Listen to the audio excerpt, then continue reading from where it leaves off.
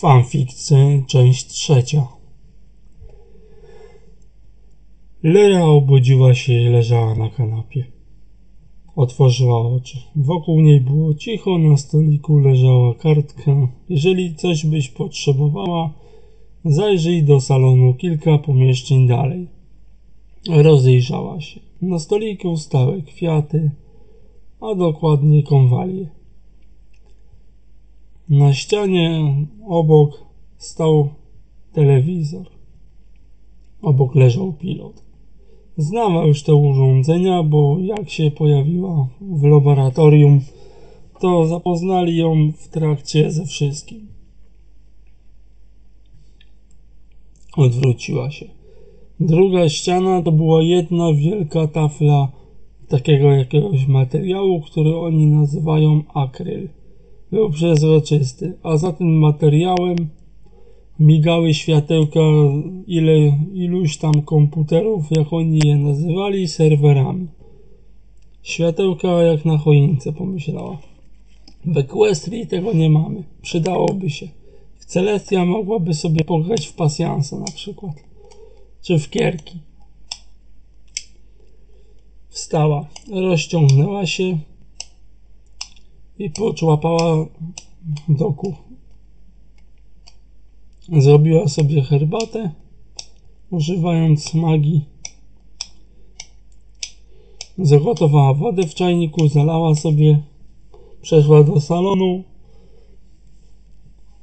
i zobaczyła drugą kartkę. Dziękujemy, że nie uciekłaś.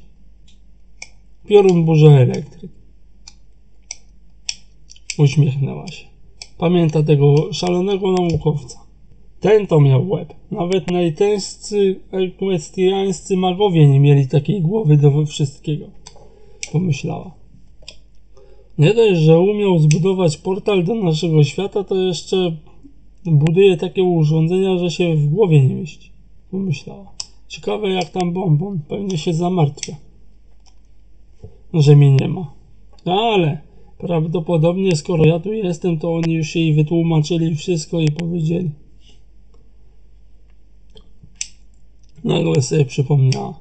Trixie została ambasadorką pomiędzy naszymi dwoma światami. Coś takiego, bo myślę, że niespełna rok temu Twilight wywaliła ją z Ponyville po pojedynku magicznym. Eee, zruszyła ramionami. Kto by tam wiedział? Ktoś wszedł do pomieszczenia, popatrzyła. Był to pioruna asystent Mirek. Cześć Lera, się obudziłaś, widzę. Witam panie Mirosławie. Tak, tak, witam. Przejedziesz się ze mną? Nie jadłam śniadania. Zjemy w trasie. No dobrze, chodźmy. Wzięła łyka herbaty i pobiegła. Przed ośrodkiem stał terenowy samochód. Otworzył jej drzwi, wskoczyła na siedzenie, zapiął ją pasem. No niby nie są przystosowane do jednorożców, ale jak to się mówi. Kto nie umie, ten nie zgubi.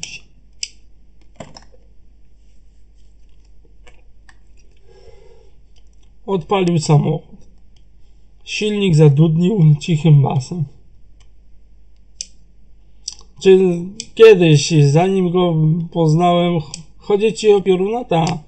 Czytałem fanfiki twórców właśnie yy, MLP i tak dalej. Browis, jak oni się tam nazywają. To w niektórych fanfikach to opisywali cię, że jak zobaczyłaś czym jest samochód, to była zdumiona. No tak, bo słuchaj, panie Mirku, w Equestrii nie mamy czegoś takiego, mamy tylko wozy zaprzęgowe i ciągnięte przez kuce. Coś takiego to u nas byłby ewenement na skalę całego i planety. Tak, na pewno. Ruszyli z miejsca. Brama automatyczna odsunęła się z cichym cmoknięciem. Ile kosztowało wybudowanie tego obiektu tutaj? Mówisz o całym ośrodku? Tak. Ech, cały skarbiec Celestii by poszedł spokojnie. Jeszcze trochę. Wytrzeszczyła oczy. To aż tyle? Wasza wartość pieniądza w naszym świecie to jest śmieszne groszaki. Aha. Włączył radio, szło coś tam, coś tam. No, szły jakieś wiadomości o nalotach myśliwców na coś tam. Znowu się tłuką. Przełączył gałką jakaś muzyka, szła California Dreaming i pojechali do miasta. Przy okazji zjechali z trasy szybkiego ruchu do restauracji Maka, zjedli obfite śniadanie. Nikt nie był zdziwiony, że kuc był z człowiekiem.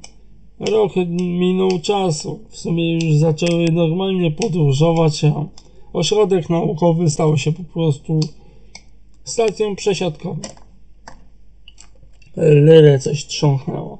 Mirku, a kim był tak naprawdę piorun, że zanim go poznałeś? Ten się zamyślił i uciekł od pytania. A wiesz, że dzisiaj ma padać? Ta się zdumiła brakiem odpowiedzi. Pytałam o co innego. To nie jest temat tutaj. To aż tak ściśle tajne? Powiedzmy, że nie chcesz tego wiedzieć. Dobra, pojedźmy po co trzeba.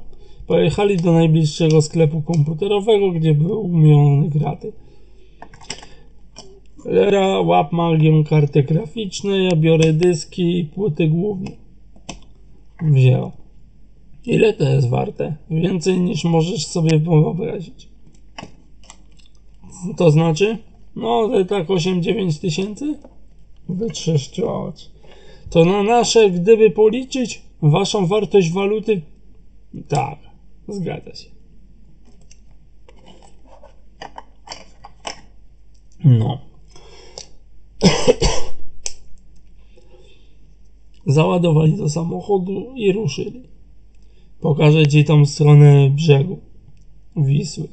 No, pojechali do mostu. W górze Karwali, przekroczyli go. Pojechali na Kozienicę, zrobili rundkę wokół ten. Widziałaś jaka wielka elektrownia? Do Lery nie trzeba o nic mówić. Siedziała z wytrzeszczonymi oczami. Przecież to jest wielkie jak Canterlot. Tak, a zajmuje się tylko wytwarzaniem energii elektrycznej. Przetarła kopytami oczy. Przecież to jest niemożliwe, żeby coś tak ogromne... Nie dość, że cały pałac Canterlot zmieściłby się w środku, to jeszcze miejsca by starczyło. No, u nas jest taka wygórowana finezja budowania. Powiedziała i wyobraziła sobie drzewo biblioteki w Ponyville, które by spokojnie zmieściło się w jednym chłodni kominowej.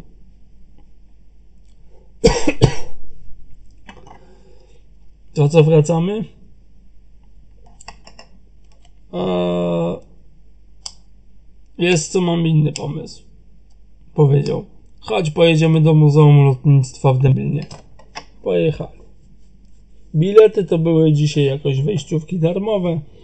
Lera weszła i stanęła wryta. To nie mówiłeś, że jeszcze umiecie latać. No.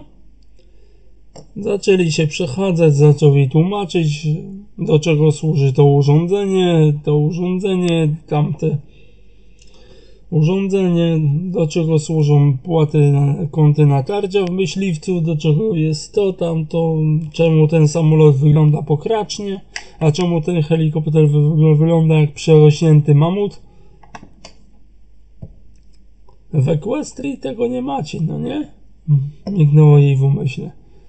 Lyra pomyślała tylko, gdyby Celestia miała zastępy takich myśliwców obsadzonych pegazami i kucami, to Discord czy Tirek nawet szans by nie mieli. A jeszcze z takim uzbrojeniem. Zadzwonił telefon. Mirek odebrał słuchawkę. Cześć, gdzie tam jesteście? O, siemasz piorun. Koleżankę zabrałem na wyjazd. Tak, widziałem na monitoringu. Bawcie się dobrze. I rozłączył się. A, zadzwonił ponownie. Słuchaj, na kolację będzie dzisiaj pizza. Jest nawet zamówiłem. A gdzie jest Trixie? Zajęta trochę. A co robi? Zwiedza Kazimierz Dolny. To ją tam wysłałeś? Nie. Żądam, żeby wzięła sobie wreszcie urlop, bo cały czas tylko pracuje. A, to chyba, że tak. To kto tu? Nieważne. Jak trochę jej nie będzie, to przecież nie umrzemy. Rozumiem. Wsiedli do samochodu i zaczęli wracać. Po przyjeździe do laboratorium Lera była oszołomiona tym, co widziała. Na wielkiego kucyka, gdyby Celestia miała takie wyposażenie wojskowe. Mirek się uśmiechnął i szepnął jej na uchu. Gdyby ona to miała, to nigdy te rzeczy w waszej historii by się nawet nie wydarzyły. Powiedział. Ta się uśmiechnęła. Ta. Nie byłoby Tireka, nie byłoby problemów z Krysalis i tak dalej. Weszli do laboratorium. Przeciągając kartę przez dwa czytniki, skaner tęczówki. No, to jesteśmy w domu. Tak. Halo, jest tu ktoś? Zawołała Lera. Cześć, Lera. Jestem, jestem, chodźcie tutaj. Weszli do kuchni. Na dużym stole stały już trzy pizze. No to opowiadajcie, jak to wam minął dzień. No powiedzieli, gdzie byli i tak dalej. Fajnie. A pokazałeś dziewczynie e, Warszawę? Jutro. Dzisiaj już za bardzo zmęczona. A mi też jazda za kółkiem dawno nie służyła. Aha, rozumiem. Okej, okay, zjedzmy i pogadamy. Po zjedzonej kolacji zeszli do pokoju Try, Lyry, który dzieliła z Trixie. No, no to jakbyś czegoś Lyra potrzebowała, to zawsze jest, któryś z nas jest w obiekcie i możesz się pytać. A te urządzenia tam? A to są wyspecjalizowane komputery, których nie, to, nie dotykaj. One są i tak za barierą z plexiglasu popukał w materiał. Nic im nie będzie. Połączenie pomiędzy podłogą a sufitem jest uszczelnione, więc dlatego słyszysz tylko cichutkie mruczenie. Rozumiem? No, więc o to się nie martw. A Trixie wróci za jakieś 3-4 dni. Niech sobie wypocznie. A co ja mam robić? Naprawdę chcesz coś robić? Poszedł. Przyniósł pędzelek i jakiś serwer. Chcesz coś robić? To dam ci robot. Wiedziałaś wiele razy, jak już to robię. Rozmontuj ten serwer, wyczyść go i złóż do kup. Oczywiście wszystkie takie pokazał jej złote pokazał jej złote wejścia w różne otwory na płycie. Te złącza czyścimy alkoholem. Alkohol nie służy do picia. Popatrzyła się na niego z, z podła. Ta, nie służy do picia. Dobra, to, to, to i owo to inna kwestia. Ale nie służy do picia. No. I przemywasz nim testyki, testyki, tak samo z pamięciami RAM.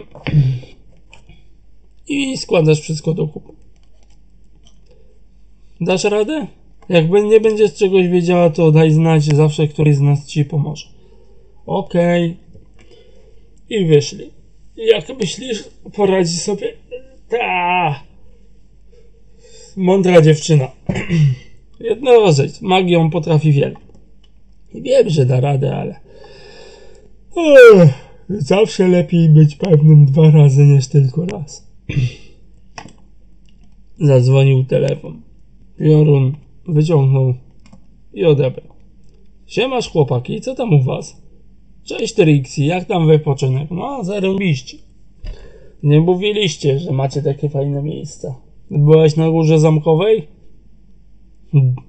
Ba, pytanie. Teleportowałam się na nią. Trochę nie fair było wejść tam. a nie się teleportować.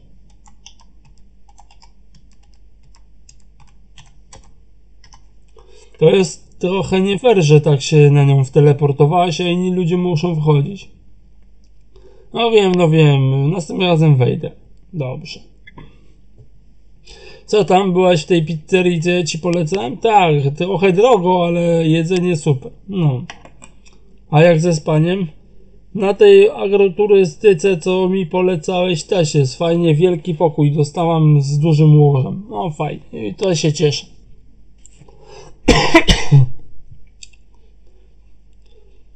No. E, takie pytanie mam. Kiedy mam wrócić? Powiem tak. Posiedź sobie jeszcze. Pomyślał. Tydzień czasu i dopiero wróć. Odpocznij trochę, nie tylko praca i praca. O, dziękować. Wiem. Nie można cały czas pracować. A ty to co? Powiedziała. Ja to jestem ewenementem na skalę tej planety. Wiesz co? Powiem ci tak. Jak ja wrócę, to teraz ty masz wypad na urlop. Mirek szybko zabrał słuchawkę i powiedział: Jego się stąd ruszyć nie da, więc sobie wybij to z głowy. Trixie zaśmiała się. Wielka i potężna Trixie ruszy z miejsca nawet w górę, jeżeli będzie trzeba. I się rozłączyła. No, to masz przerąbane, powiedział Mirek. Poklepał go po plecach. Te, ona mnie stąd nawet nie ruszy. Założymy się? Tak, o klatkę piwa. Stoi. No, kto by pomyślał, że będą niezłe jajca. Jak Trixie wróci, to będziesz miał jesień średniowiecza tutaj. Zaraz, żebym ja tobie nie zrobił jesieni średniowiecza. De, odezwał się komando Foki 1. Patrz na siebie, gdyby nie moje badania naukowe, to nawet byś tu nie pracował. Gdyby nie moja umiejętność budownictwa i tak dalej, to nawet tej rudery by tu nie było. W sumie wypijmy na zgodę. O, i to jest gadanie. Bardzo chętnie. Nie wiem, ja to nigdy tego nie rozumiem. Niby się kłócimy, a potem się godzimy, bo najlepsi kumple właśnie tak robią. Otworzyli po browarze i wypili. I to jest właśnie życie. Życie szalonych naukowców. Stuknęli się piwami, wypili, posiedzieli, pogadali jeszcze trochę i poszli spać. Następnego ranka świt był piękny. Obudzili się. To co? Mirek wszedł do kuchni. Piorun siedział i czytał jakąś gazetę. No, dzisiaj będzie jakaś kometa na niebie. Mm. Przygotowałem aparaturę badawczą. A ja teleskop. Będziemy obserwować. Leria weszła do kuchni, wzięła łyka kawy i powiedziała: Cześć chłopaki, idę sobie pochodzić po mieście. Nie widzimy problemu. Jesteś wolna i możesz robić co chcesz. Tylko nie detonuj magią serwerowni ani całego obiektu. Zaśmiała się. Nie no. Jesteście naszymi przyjaciółmi, a przyjaciół się nie krzywdzi. Tak. Pomyśl sobie było, gdyby tu Trixie wpadła w szał. Wyobraziła sobie to i owo, co by się w trakcie tutaj działo. No. Teraz nie powiedziałabym dokładnie, że obiekt by ocalał. Laboratorium prawdopodobnie zostałoby całkowicie zniszczone.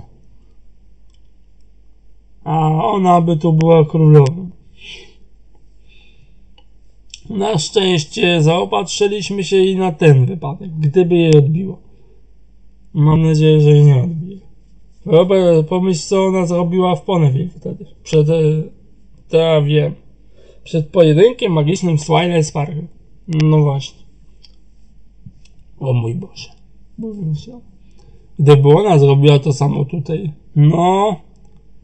Wyładowanie takiej potężnej fali energii nie powiedziałbym, żeby dobrze się skończyło tu dla nas. Wiem. Dobrze, że mamy ją po naszej stronie. No. To jest właśnie dobrze. No właśnie. Dobra, jadę do miasta. Chcesz coś? Mm, co ja mogę chcieć?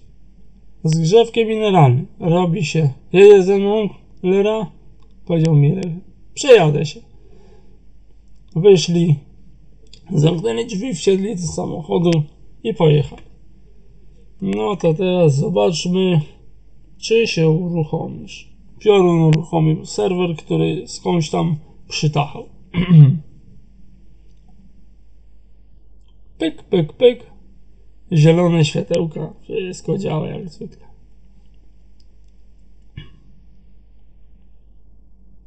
Następnego dnia było jeszcze lepiej, ale skąd mógł o tym wiedzieć? Przecież jeszcze następny dzień nie nadszedł. Pod wieczór wrócił Mirek Killera. O, będziemy patrzeć w gwiazdy?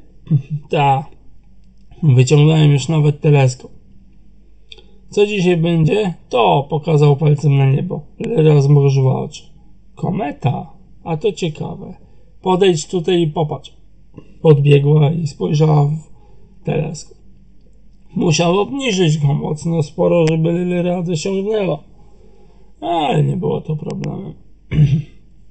Spojrzała. Ło, jakie powiększenie w obserwatorium królewskich sióstr.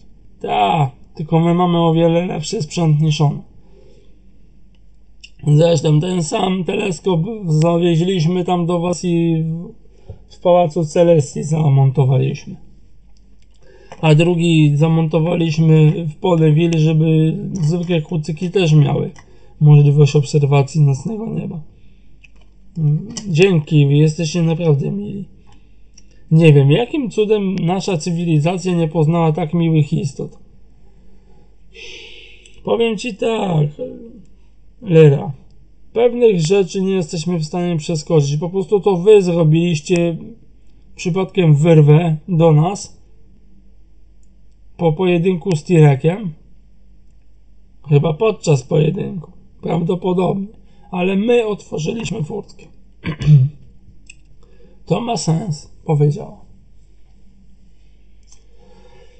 Na początku Celestia myślała, że to inwazja z kosmosu i chciała nas eksterminować, ale jak złożyliśmy jej dary i powiedzieliśmy kim jesteśmy i jeszcze zaklęciem, jak ona to nazywała, zaklęciem mówiącym prawdę, nas prześwietliła obu, to zrozumiała, że my jesteśmy pokojowo nastawioną rasą. Tak, a wywiad Tajni agenci księżniczki Celestii non-stop tu siedzą. Jeden jest tam, powiedział palcem. I nagle Pegas o srebrnej sierści wyłonił się z zakomina na dachu. Jestem tutaj z polecenia księżniczki. Nie przejmujcie się i zajmujcie się swoimi obowiązkami. Mnie tu nie ma. A jak się zwiesz, przyjacielu? Silver Knight. Fajnie, Chcesz piwa? No, misji nie pije. Pomyślał, ale Celestii tu nie ma. Zlatuj do nas się napijesz. Pegas zleciał i wziął łyka. No i to jest życie. Takiego piwa nawet w Equestrii nie mamy. Skąd mnie znaleźliście? Wychwyciliśmy promieniowanie magiczne twojego rogu. Nie było trudno. Cholera, muszę nad tym popatrzeć. Nie przejmuj się. Mieliśmy od miesięcy cię na. Jest was więcej? Tak. 8, pe 8 Pegazów, 4 jednorożce i 2 kuce ziemskie. Mamy tu was obserwować i monitorować. W razie czego mamy was bronić. Ośrodek sam jest w stanie się obronić. Tak, zauważyliśmy.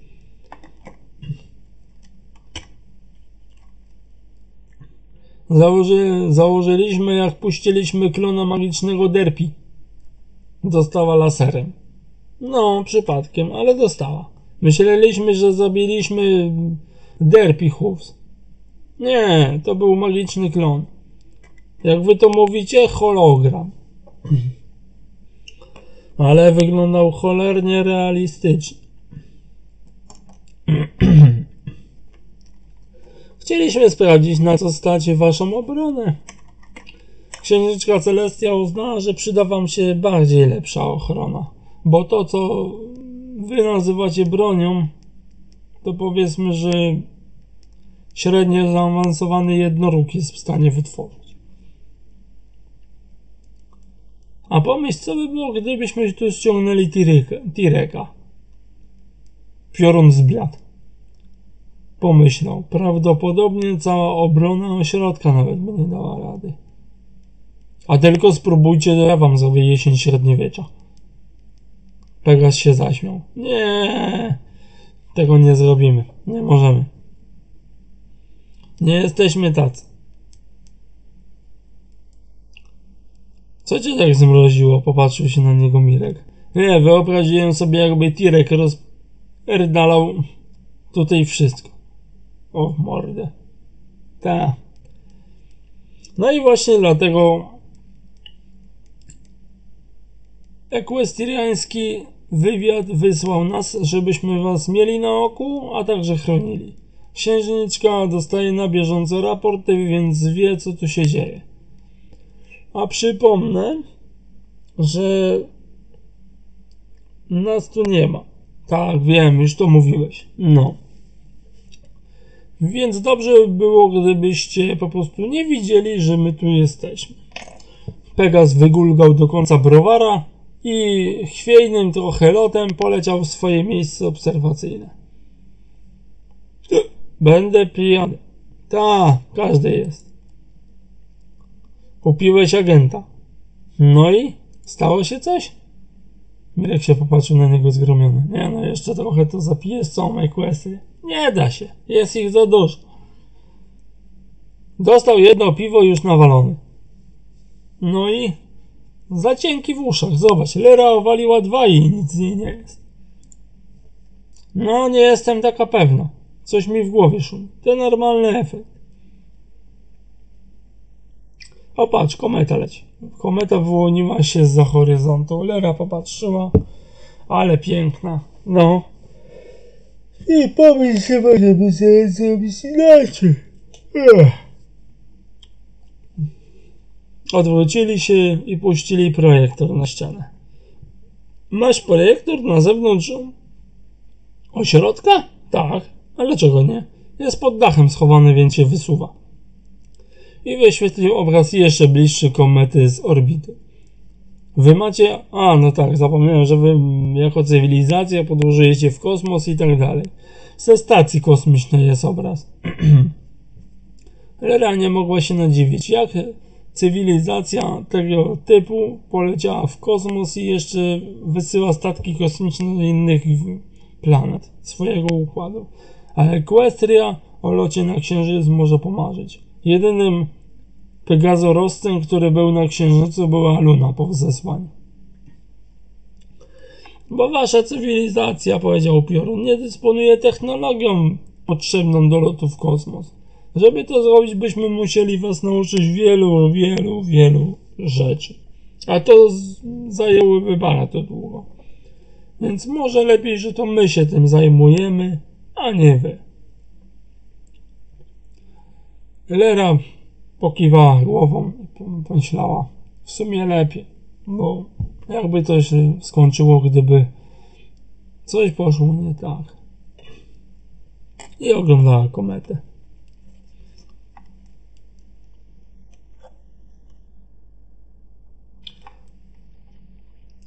Canterlot, godzina 21.07. Księżniczka Celestia siedziała przy swoim biurku, czytając jedną korespondencję od Twilight Sparkle, gdy w tym momencie błysnął zwój na biurku. Od tajnych agentów ekwestriańskiego wywiadu. Obiekty są bezpieczne. Stop. Jeden z agentów, Silver Knight, upił się. Stop. Ten piorun burza elektryk to jakiś szaleniec. Stop. No jego pomocnik Mirek jest wcale nie lepszy. Stop. Co mamy robić? Prosimy o dalsze instrukcje, księżniczko. Stop. Czy mamy ich eksterminować? Stop. Zagrożenie dla Equestrii w dziesięcioskalowej skali oceniamy na zagrożenie trzecie. Stop. Prawdopodobnie nawet nie są w stanie nas zaatakować, co najmniej no, nie mówić jeszcze o podbiciu, ale monitorujemy sytuację i mamy ich na oku. Sama zresztą nam to okazałaś. Stop. Księżniczka wyczarowała pióro i zaczęła pisać. Droga agentko, oni są bardzo nam drodzy. Masz ich obserwować tylko dlatego, że ci każę. Bez, mojego, bez mojej zgody nie macie prawa na podjęcie żadnych działań eksterminacyjno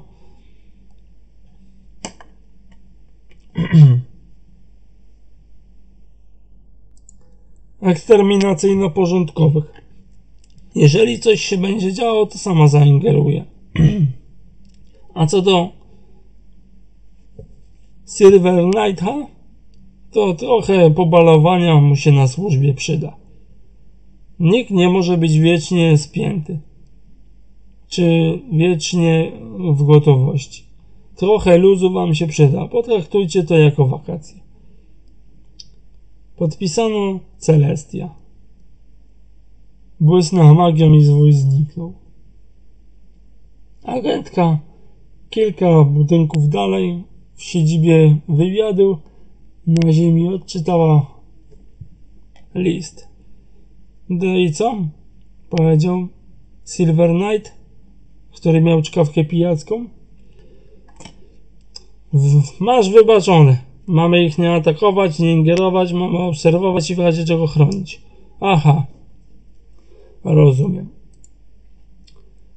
Czemu Celestia ich tak broni? Przecież ewidentnie jakby mogli, to by zrównali Ekwestrię z ziemią. Może tak nie jest, może jesteś przewrażliwiona. Ja przewrażliwiona? W sumie nie wiem, czego, co ja tak naprawdę chcę od nich. Powiedziała. Musimy ich obserwować dłużej. Trzy miesiące to trochę za mało. No, też tak uważam. Niezłe, niezłe piwo mają. Latało mi się strasznie chwiejnie potem. Wiem, widziałam. Co? Obserwujemy dalej. I zagryźli się w kebabie. W tym momencie w laboratorium Lera kładła się spać. Obserwacja komety ją trochę wykończyła. Jeszcze dzień też dał do siebie.